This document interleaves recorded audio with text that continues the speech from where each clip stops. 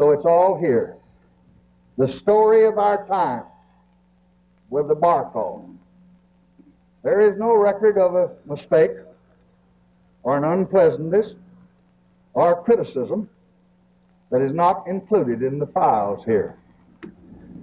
This library will show the facts, not just the joy and the triumphs, but the sorrows and the failures too. We're eager to show you the magnificent building that we have the pleasure of working in every day. The building was designed by Gordon Bunshaft, who was chosen by President and Mrs. Johnson in the late 1960s. There are many stunning and unique features of our building, but the most notable is the Great Hall. If these walls could talk, they would share stories of history.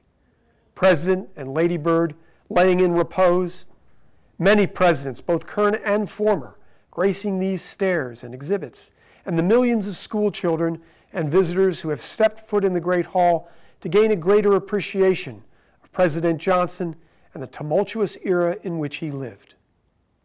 This is my colleague, Ruth Goerger. Ruth is the Associate Curator of the LBJ Presidential Library and knows as much about the Great Hall as anybody. Ruth is going to lead you on a tour of this historic space. Ruth? Thank you, Mark.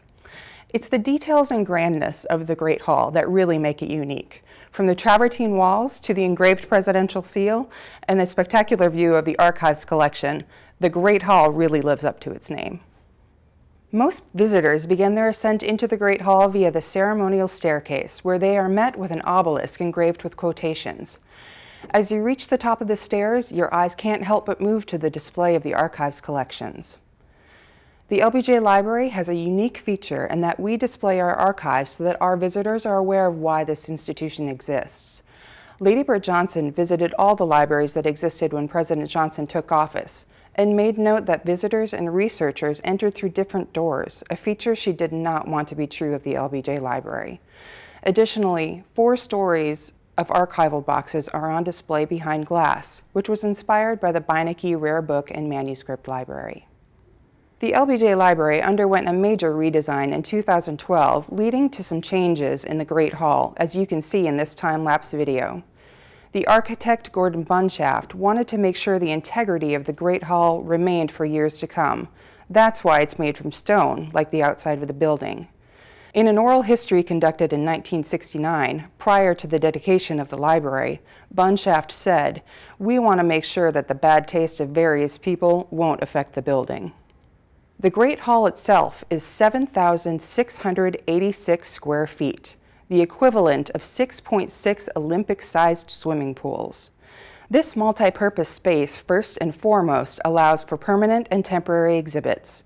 The presidents and the first ladies, as well as the Legacy Gallery, were updated and created as part of the most recent redesign.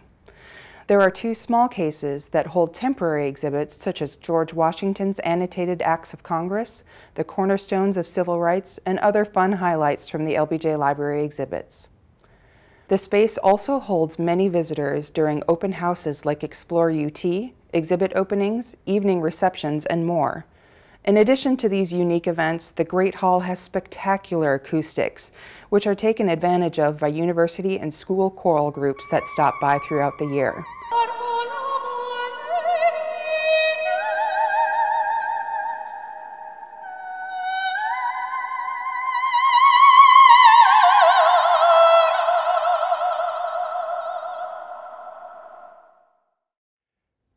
Thank you for visiting the LBJ Presidential Library's Great Hall. We hope you enjoyed this video as much as we enjoyed making it.